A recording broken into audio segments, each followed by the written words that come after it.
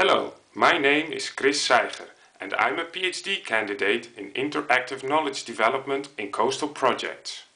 I have a question for you. When was the last time you saw a PhD researcher explaining his research in an easy, understandable way? Well, today I tried to do this for my own research and I prepared a small movie for you explaining my research. Hopefully you enjoy the movie and also learn something about my PhD research. The topic of my PhD research is interactive knowledge development in coastal projects. My PhD research is a collaboration between the University of Twente, Deltares and Wageningen University. With interactive knowledge development, I focus on knowledge of three different groups, the researchers, the policymakers and the stakeholders. They are visualized in this movie by the red brains, the blue brains and the green brains. When we talk about the uptake of knowledge in decision making, it is often visualized like this. Knowledge from researchers is being used and eventually transformed into a decision taken by the decision makers. However, there are quite some reasons why knowledge from researchers is not being used in the decision making process. First, there can be problems with the quality. Sometimes knowledge from the researchers is not considered to be credible or adequate. Think for example about the earlier versions of IPCC reports which were heavily criticized in society. Another reason can, be the legitimacy of researchers.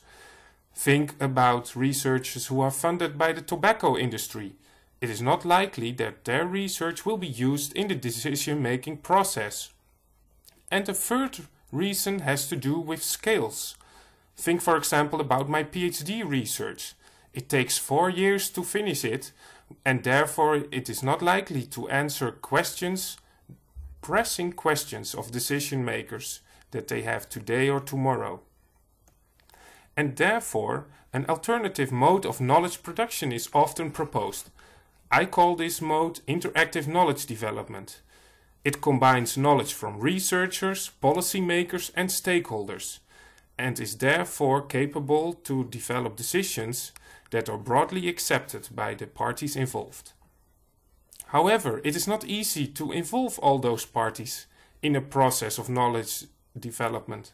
For example, if, if researchers are excluded, decision makers and stakeholders develop negotiated nonsense. But if the decision makers are excluded, the researchers and the stakeholders develop irrelevant knowledge because the end user is not involved. And if the stakeholders are not included, it's very likely that the knowledge developed by researchers and decision makers becomes heavily criticized because it does not reflect the interests of the stakeholders. So what you see is that it's important to involve all those three groups in a process of knowledge development. Yet all those three groups have differing values and differing interests in a process of knowledge development. Therefore, the question my PhD research tries to answer is how can you organize such a process of interactive knowledge development?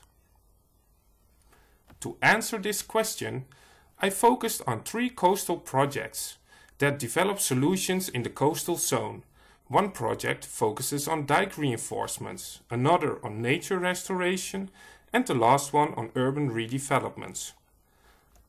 I looked into knowledge development and focused on solutions of the project. And I investigated how knowledge has been developed between the researchers, stakeholders and decision makers in those projects. Solutions focused on dike reinforcements, on marsh restoration and on urban planning ambitions. So what I found by looking into these three projects is that there are three things that you would need to organize such a process of interactive knowledge development. First, you would need the brains of a fourth group, the process facilitators. As those groups of researchers, policymakers and stakeholders have differing interests, you will need a process facilitator to ensure that the interests of all these groups are met and to ensure that they maintain involved in a process of interactive knowledge development. Secondly, you will need more time and money to organize such a process, since more meetings are needed between the differing groups. And also, it is very likely that because decision makers and stakeholders are involved from the start, more questions will be asked by those groups. And if you want to answer those questions, the researchers would need more time again. And lastly, what you need is complex knowledge and easy understandable knowledge. Obviously, the projects focus on complicated matters in the coastal zone and therefore researchers develop complicated research reports. Yet, if you want to ensure the involvement of decision makers and stakeholders, you have to be sure that you also develop simple and easy understandable knowledge. Otherwise, decision makers and stakeholders might easily walk away from the process of knowledge development because they are not no longer interested. And therefore, you need both complex and easy understandable knowledge. I hope you enjoyed watching my movie and hopefully I succeeded in explaining my research in an easy understandable way. Thanks again for watching and in case you have any questions Feel free to contact me. Bye!